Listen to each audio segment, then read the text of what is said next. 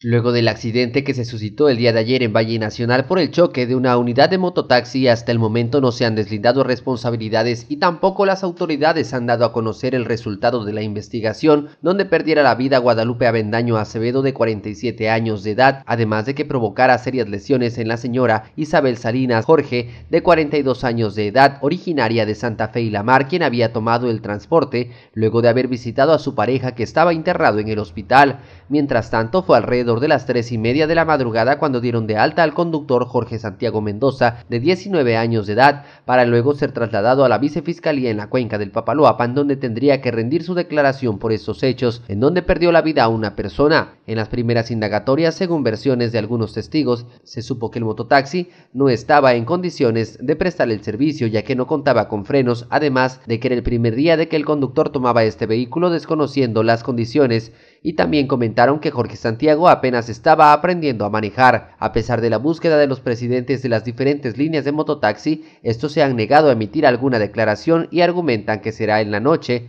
de este miércoles cuando se reúnan con el delegado de tránsito Ángel Cibaja López, quien tampoco se encontraba presente para entrevistarlo y que de esta manera diera a conocer el fondo de la situación en que se encuentran metidos los concesionarios de este tipo de servicios. Con información de Alejandro Morales reportó Ernesto Bamboli Joven.